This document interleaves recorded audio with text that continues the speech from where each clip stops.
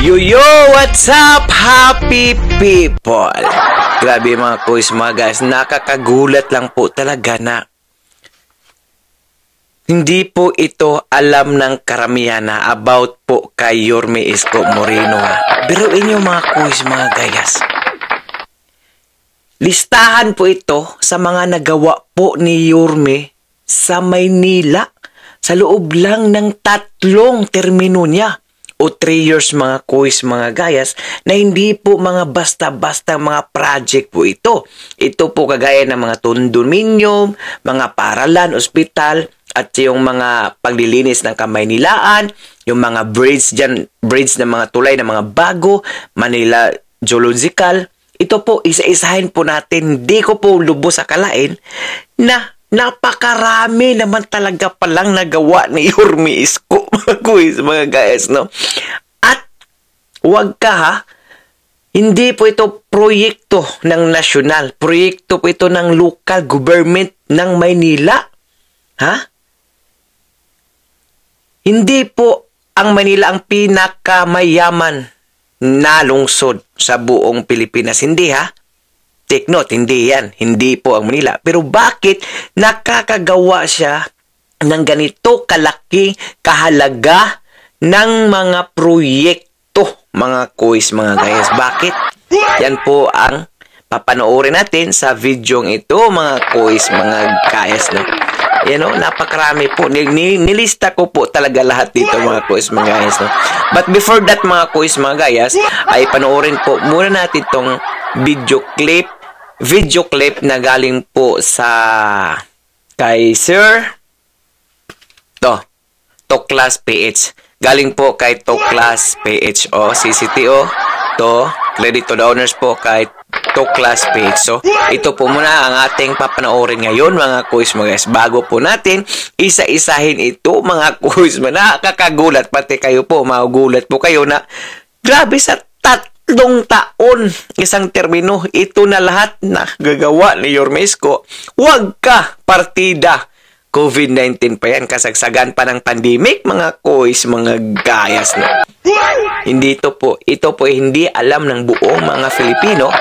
Dapat pakishare po ng video ito para alam po ng ating mga kababayang Pilipino. At bago po tayo mag- mag-umpisa, shout out nga pala sa ating napakasulid na supporters kay Ma'am Melcy. Ayan po yung YouTube channel na pakibisita rin po. Isa po itong supporters ni Yorme Isko. Ito po yung tumutulong sa mga vloggers na mga solid Isko at sa next video po mga kuis magayas ay kilalanin po natin kung sino po itong napakasulit na supporter po ni Yorme Isko. Kung hindi lang si Yorme po sinusuportahan dito, pati po kami mga vlogger po o mga supporters po ni Yorme Isko, mga mga guys. No?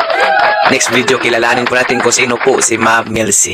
Meron mo siyang YouTube channel at ang galing po nitong mag-drawing. Isa po itong teacher dyan sa may USA, California, mga boys, mga guys. No? So, bago po ang lahat, papanoorin po muna natin itong uh, video clip. Ay, hindi naman clip kasi mabahaba rin ito. Eh, about po sa nagawa ni Yorme Isko sa Manila. Da, uh, pagkatapos noon ay supporting po na tayo dahil meron po doon na o, hindi po niya nabanggit na andito po sa listahan natin mga kois, mga gayas. No? So without a further ado mga kois, mga gayas, let's begin. Sarap tignan na ang dating napag-iwan ng lungsod ng Maynila ay unti-unting nakakabangong muli. Sa mahigit dalawang taong paninilbihan ni Mayor Esco Moreno Dumagoso ay kitang-kita ng marami na may pinupuntahan ang pondo ng lungsod. Nagamit kaya ng tama ang pondong ito? COVID-19 Field Hospital Ang buong mundo ay patuloy pa rin lumalaban sa hamon ng pandemya at alam nating mahaba pa ang labang ito Milyon-milyon na ang binawian ng buhay, ngunit nailigtas pa sana ang marami sa mga ito kung may sapat na kapasidad ang mga ospital. Kaya naman ipinatayo itong bagong ospital na nakatuon sa mga pasyenteng nahawaan ng COVID-19 upang mabawasan ang bilang ng mga nasasawi. Ito ay itinayo sa loob ng 52 days at may pondong 154 million pesos. Matatagpuan ito sa Burnham Green ng Rizal Park at may 344 na bed capacity. NILAD for Maynila Projects ang nilad ay isang uri ng mangrove na dati ay masaganang namumuhay sa Manila Bay at dito rin ang galing ang pangalang Maynila. Kapartner ng DENR ay inilunsad ng lungsod ang proyektong magpapanumbalik sa berdeng baybayin ng Maynila. Malaki ang naitutulong ng mangrove sa paglaban sa climate change dahil nakatutulong ito sa pagsangga sa malalaking alon tuwing may bagyo, nagiging tahanan ng mga isda at iba pang hayop at malakas itong humigop ng carbon dioxide na sanhi ng pag-init ng mundo. Balak itong itanim sa Baseco Beach, Quirino Grandstand, Manila Baywalk at malapit sa Manila Yacht Club. Base Community Ipinamahagi na sa mga benepisyaryo ang 229 townhouses sa Base Community na matatagpuan sa Baseco Compound. Ipinamigay ito sa mga nasunugan sa nasabing komunidad. Ang unit na may dalawang palapag ay may lot area na 20 square meters at floor area na 42 square meters. Mayroon itong dalawang kwarto, sala, kusina, laundry area at banyo 2,000 ang monthly contribution para sa mga kumikita ng 18,000 pesos pababa at 3,000 pesos naman para sa mga kumikita ng mas mataas sa 18,000 pesos. Anda Circle Redevelopment Project ang Anda Circle ay isang rotonda sa boundary ng Intramuros at Port Area kung saan ipinatayo ang isang monumento upang magbigay pugay kay Simon de Anda y Salazar na dating Governor General ng Pilipinas na pumalag sa pananakop ng mga Breton noong 1762. Dahil sa donasyon ng mga pribadong sektor, ang Anda Circle na dati ay walang nakakapansin ay napaganda at naging bagong tourist attraction.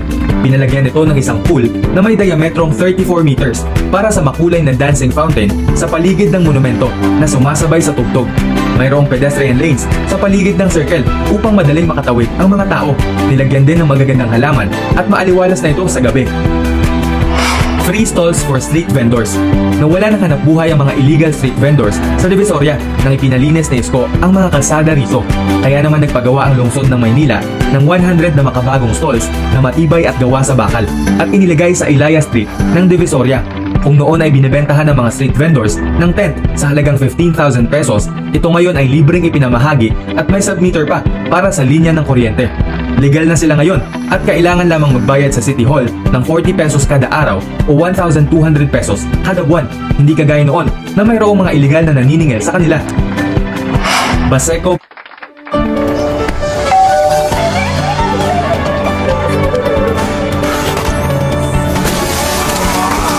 Baywalk Linear Park Nakilala ang lugar na ito bilang tahanan ng mahihirap at pugad ng maraming krimen, kaya isa ito sa gustong baguhin ni Isko.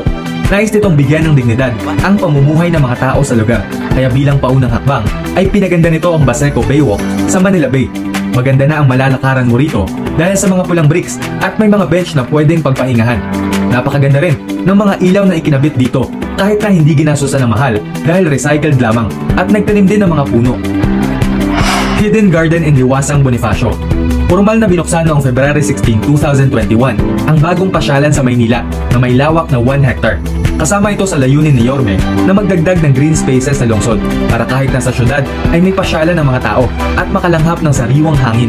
Mayroon din itong sariling coffee shop na Hidden Garden Cafe para mas ma-enjoy ng mga tao ang pagtambay rito na nakapagbigay rin ng mga bagong trabaho para sa mga Manilenyo. Ang lugar na ito ay dating nakakatakot, marumi, tambayan at tulugan ng mga palaboy. Ngunit ngayon ay binuhay ito ng magagandang halaman at maliliwanag na mga ilaw.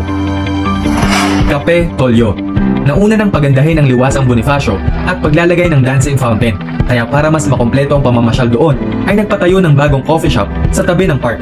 Ito ay may dalawang palapag at fully air-conditioned na naghahain ng Filipino food at lokal na kape galing sa iba't ibang lugar kagaya ng Batangas, Sagada at Maguindanao. Masigla ang ambience nito dahil na rin sa magagandang mga ilaw at maganda rin ang disenyo sa loob na swak para sa mga meetups. Masarap tumambay sa loob dahil sa lamin ng dingding nito kaya feel na feel mo ang nature vibe dahil tanaw ang mga puno sa labas at ang pinagandang park. High-tech CCTV cameras isa sa hangarin ni Yorme ay gawing smart city ang Maynila kaya naman nagpadagdag ito ng libu-libong CCTV cameras sa mga pampublikong lugar at mga lansangan ang mga kamera na ito ay may facial recognition na kayang halungkatin ang criminal records ng bawat tao sa Philippine National Police, National Bureau of Investigation at Philippine Drug Enforcement Agency. Kaya rin itong makita ang mga plate number at conduction sticker ng mga sasakyan kahit na madilim. Manila Islamic Cemetery. Sa paniniwala ng Islam, ay kailangang mailibing ang labi ng taong namayapa sa loob ng 24 hours at marami tayong kababayang Muslim sa Maynila.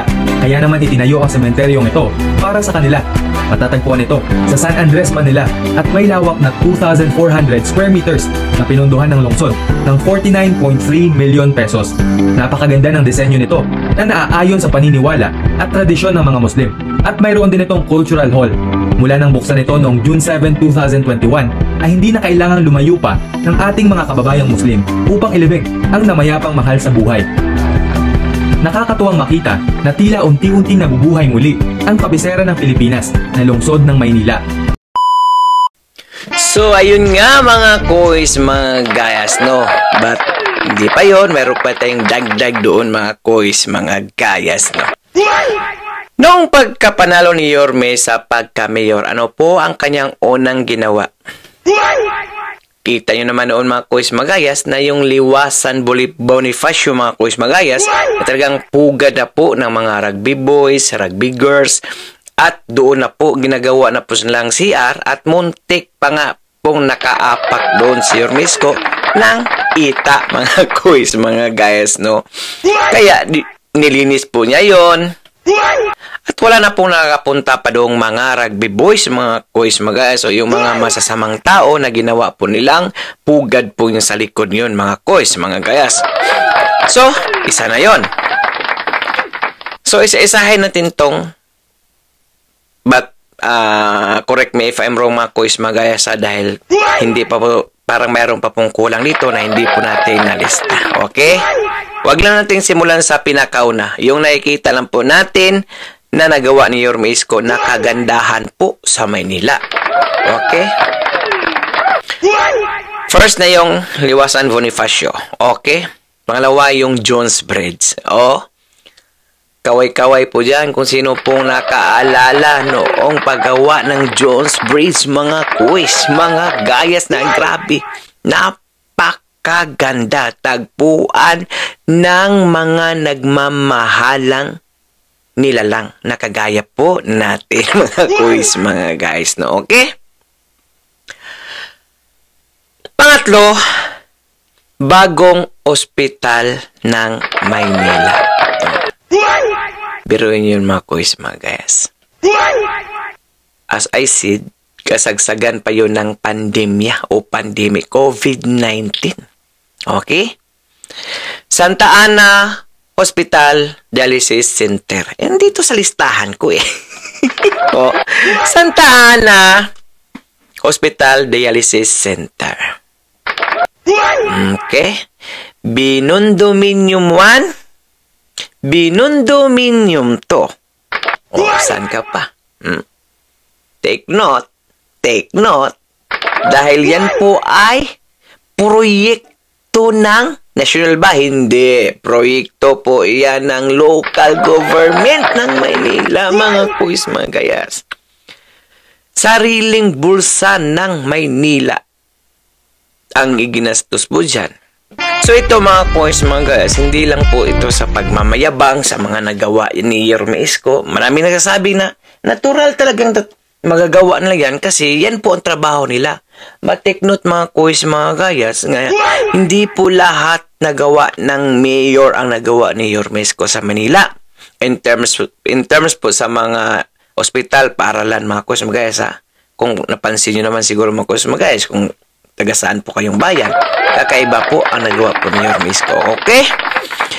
Condominium 1, Condominium 2. Yan po yung pabahay na sinasabi ni Yormi Isko mga kuis mga gayas na tag dalawang libo lang po ang buwan. Hmm? Dalawang libo lang po ang buwan. Saan ka pa?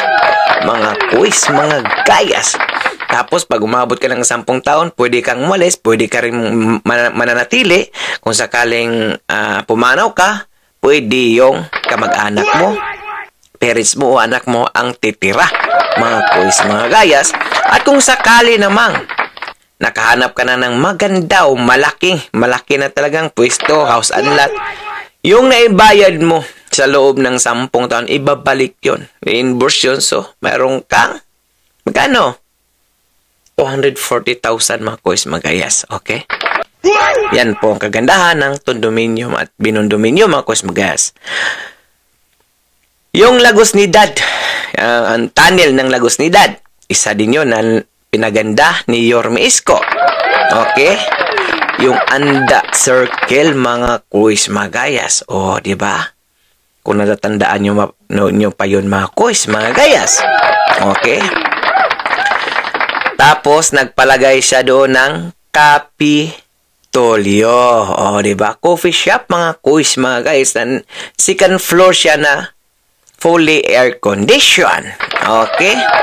Mga paralan naman po tayo mga quiz mga guys na talagang masabi parang private parang private private yung mga quiz mga dahil fully in condition, air, air condition po ito mga quiz mga guys no? like Dr. Alejandro Albert Elementary School ayan hmm? napakalaki pong paralan po yan Rosauro Almario Elementary School. Palakpak. Yan po yung mga full air condition na hindi po private yan ha. Yan po ay public school mga kois, mga gayas. Manila Science High School. Oh. Diba? Tapos, after that mga kois, mga gayas, sa ilang dekada na nakailang mayor na po ang nagpalit-palitan dyan sa Maynila, only Yormi Isko lang po ang nagrenovate ng Manila Zoo. Nagtatawag po nila ngayon na Manila Zoological Park, mga kuis, mga guys. Napakaganda po talaga, mga kuis, mga guys. So, like Singapore, makakaw, maka, sana all ko lang talaga kayo rumisko. Paano na pag ito po tumakbong si senador, at nanalo. Hindi lang po Manila ang mayroong ganyan. Buong bansa. Mga kuis, mga gayas. No? Arosiros Park na talagang grabe, napakaganda. Kung may mga labuans kayo, pwede po doon. Kahit yung mga kirida po, joke lang. Wag po yung kirida, masama po yan. Okay ito mga kuys mga guys, no, yung Hayden Garden Liwasan Bonifacio na talagang ito, nabanggit na kanina sa video na gusto ni Yormesco na masyudad, kailangan mayroon ding mga green sa kapaligiran nyo, mga kuys, mga gayas. Ito mga mga guys, ha. Ilang dekada na, na din po yung Maynila, nakailang mayor na po ang dumaan. Ngunit, Yurmi Isko lang po. Yurmi Isko lang po ang the only one na nakapagpatayo ng Muslim cemetery dyan sa may Manila mga kus magayas at huwag ka believe na believe si Robin Hood padilya niya si senator ha? Okay. At hindi pa yan. Alam niyo yung kasagsagan ng COVID-19 mga kuis mga gayas ha? Only Manila lang po ang nakagawa ng COVID-19 field hospital mga kuis, mga gayas, saan ka makakita na hospital na may drive-thru? Only dito pong Manila COVID-19 field, mga kuis, mga gayas, na kung magpabaksin ka, pwede drive drive-thru lang, tapos hindi lang Manilinyo ang pinipili. Hanggat kung sinong gustong pumunta po doon at magpabaksin mga kuis, mga gayas, welcome na welcome po kayo. At hindi lang yon Only Yorme Isko nakatutok 24-7. Nakatutok para naman maging mataas ang moral ng mga doctors, nurses na nagsasagawa ng baksin, mga kois, mga kayas. Alam niyo mga kois, mga kayas, marami po talagang mga taong hindi po nakakaalam nito. Siguro yung iba, nagpabingi-bingian lang siguro, nagpabulag-bulagan, dahil nga, alam niyo na, dahil sa panahon ng eleksyon, talagang siraan ng siraan. Ito, hindi po siguro ito. Mas marami pong mga Filipino na hindi po talaga nakita yung mga nagawa ni Yormesco sa Manila, mga kuis, mga guys. Kaya dapat po nating i-share ito, mga kuis, mga kuis, mga guys, no? Pakishare po ng video ito, mga kuis, mga guys, para po may abot sa karamihan na karapat dapat po si Yormesco na kahit sa anong level ng politics mga kuis mga guys dahil kayang kaya yakang yaka po talaga ni Yorme Isko yan mga kuis mga guys no? Ito pong resibo ito po ito po yung pruiba pruiba po yan. Yan nakita nyo sa gilid yung mga picture na yan. Pruiba yan na nagawa po ni Yorme Isko at hindi po yan panaginip lang mga kuis mga guys ha? Ayan yung COVID-19 na talagang 24-7 si Yorme doon, nakatutok mga kuis mga gayas. Yung Binondo Intramuros Bridge mga kuis mga gayas na talagang pinaganda ni Yorme Isko. Maliban dun sa Tondominio, mayroon ding Pedro Hill Residence, Basico Commu- Community, San, San Lazaro Residence, San Sebastian Residence, mga kuis, mga gayas. Hmm? Marami pa pong wala dyan, mga kuis, mga gayas. Pag-comment down below na lang kung mayroon po akong hindi nabanggit, mga kuis, mga gayas. Ah. Yun mga kuis, mga gayas. No? Bir- biruin yun, mga kuis, mga gayas. Tatlong taon lang. Hmm? Partida, may pandemic pa. Oh.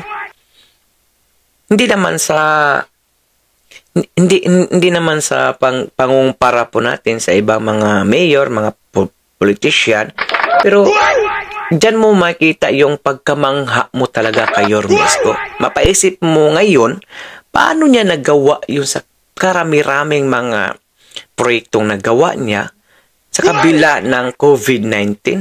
Kasagsagan talaga yun ng COVID-19. So, Diyan mo makikita mga kuis mga guys na yung karapat dapat talaga na leader o politiko na ilagay mo. Ilagay mo sa pwesto niya. Hindi yung kilala lang, mapira lang. Hindi. Kagaya nito na taong to mga kuis mga guys na workaholic. Hindi na po nauwi sa bahay niya. Mga kuis mga guys, no? Ganun po magtrabaho ang ating Yorme Isko Moreno. Tapos sasabihin na, na naman ng, ng iba dyan na, ah, grabe Dodoy te, ang aga ng ampanya. Te mga kuis mga kayas. Hindi sa ganun nga maaga po tayong nangungumpanya. Gusto ko lang pong iparating sa buong Pilipino, sa sambayanang Pilipino, na pag pumili po tayo ng isang politiko o yung leader, dapat po yung may resibo, yung may nagawa, mga kuis, mga gayas na kagaya po ni Ernesto na talagang hindi ka po magsisisi kung sakaling maniwala kayo. Sa mga sinasabi ko, dahil hindi po iyan dreams, hindi po yan panaginip, may resibo na ikita po sa ating dalawang mga mata kung ano ang ginawa ni Yorme Isko sa Manila sa loob lang ng isang termino, tatlong taon mga kuis, mga guys. So ngayon may tanong ako sa inyo. Saan kayong lupalok ng bansa? May nagawa ba yung local government nyo na gaya ng nagawa ni Yorme Isko? Paki-comment down below. Meron bang nagawa? Hmm. Kaya nga, hindi po pangungumpanya ang ginagawa ko po. Hindi po. Ang sinasabi ko lang po, pumili tayo na karapat dapat na ilagay sa tamang pwesto. Hindi lang yung kilala, hindi yung mapira. Kasi sa bandang huli, pag nakaupo na yung mga yan, tayo din magsisisi. Kundi lamang kundi man tayo, mga anak natin, mga apo natin, sayang po yung taon. Sayang ang taon, kagaya niya ngayon. Natalo si, si Yorme. So, yung mga nagawa niya, na imbis na sana na marami nang magawa ngayon, nawala na. Hmm. Mag-antay pa ba tayo ng 100 years? 20 years? 30 years? Mag-antay pa ba tayo ng ganung ka habang panahon? So, ibig sabihin nun, hayaan lang po natin tayo na maghirap ng maghirap. Tingnan nyo ang Manila ngayon mga kuys mga gayas. Public school. Fully air condition.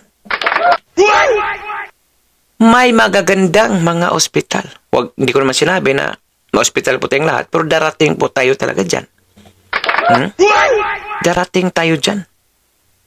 Yung pabahay, na imbis na mangungupahan ka 8,000, 6,000, pinakamababa na yan. may kurente, maliit lang na espasyo. Tapos magbabayad ka 6,000, 8,000, 10,000. Samantalang sa Tundominium 1, Binondominium 1 and 2, Tundominium 1 and 2, magkano lang babayaran mo? 2,000. So para ka rin diyang nag-iipon lang ng pera mo dahil after 10 years, kung alis ka man, kung siguro na marami ka ng ipon dahil nga sa mura mong binayaran yung bahay, oh, ibabalik sa iyo yung pera. O para ka lang nag-aalakan siya. O di ba? Kaya pumili po tayo talaga ng karapat-dapat kasi sayang yung taon eh. Eh kung nanalo pa si Yormesco, oh, naisip niyo ba yung naisip ko? Hindi lang Maynila ngayon ang mayroong mga kundo-kundo na yan, mga paral na yan, ospital na yan. Buong Pilipinas, mga kuis magayas. Tapos sasabihin nung ah, kasagsagan ng eleksyon nga si Yorme Isko daw, boy binta. Hmm? Diyan po sa mga proyekto na yan, napupunta yung kita nung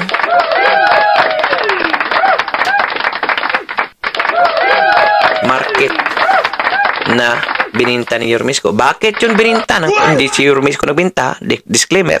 Pamahalang Manila. Bakit po yun ibininta? Hindi po kumakita ang pamahalang Manila noon. Sino kumakita? Idi si Pati at si Idi. Idi siya, pati siya. Mga galamay. Mga galamay ng mga mga tulunggis talipad din ng mga tao. O di ba? Yan sinasabi ko sa inyo mga kuis magayas. Pumili po tayo ng karapat-dapat at tapat sa serbisyo. Yung matulog sa opisina niya na handlos halos hindi na uuwi mga kuis magayas. Yan po si Hermes ko. Hmm? Hindi po ko umagang nangangampanya. Nagparimahan ng po ko sa inyo kung sino yung karapat-dapat para naman umasinso din tayo sa buhay mga kuis mga guys. Hindi maghirap yung mga kamag-anak natin.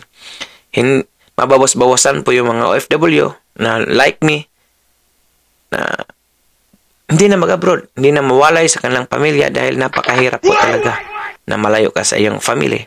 Eh kung may maganda namang ah, trabaho sa Pilipinas, o bakit ka paalis?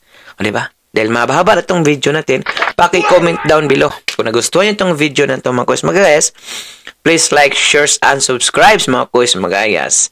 At manawagan po tayo na sana may sipan pa ni Yorme Isko na tumakbo kahit saan, mayor o senator. Nawagan po tayo. Mag-ingay po tayo dahil si Hermes ko karapat dapat po talaga. Hindi po tayo magsisisi niyan mga kuis mga guys. Promise. Yan, nakita nyo naman mga kuis mga guys kung anong nagawa niya sa Manila ito. Listahan sa mga nagawa ni Hermes ko mga kuis mga guys. At isang pabor naman mga kuis mga guys na pakisuporta po ng channel na to mga kuis mga guys. So, ni Mamel sila napaka solid supporters po natin at supporters po ni Hermes ko mula pa noon hanggang ngayon mga kuis mga guys. Magaling po niya mag-drawing. Isa po yung teacher po dyan sa mga USA, California. Shout out tayo sa iyo, Ma'am Mel C. Ayan po. Pakibisita po ng kanyang channel mga kuis magayas. Pag naisipan ni Yormesco na tumakbo, isa din po yan siya na susuporta sa kandidatura ni Yormesco. Magtulungan po tayo, mga kuis magayas. Huwag na po natin sayangin ang panahon, mga kuis magayas. Dahil tayo rin ang kawawa. Okay? Kaya nang sinasabi ni Yormesco, always God first, mga kuis mga kayas. Yan po ang tugon ni Yormesco. Pilipinas, God first. Manila, God first. Bye-bye. God bless all. Peace.